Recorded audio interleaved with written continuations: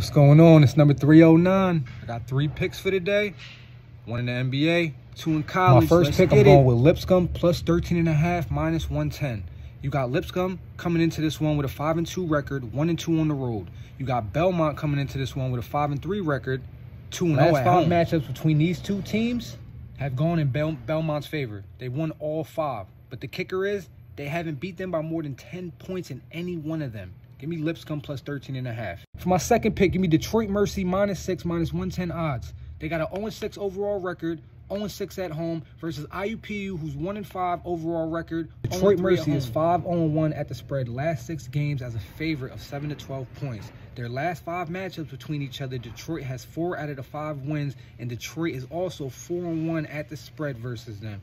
Take Detroit Mercy minus six. My last pick, I'm going to the NBA. Give me OKC plus nine. OKC has been riddled with injuries this year, but despite that, they still managed to cover 13 out of 15 games at the spread. This is where things get interesting though.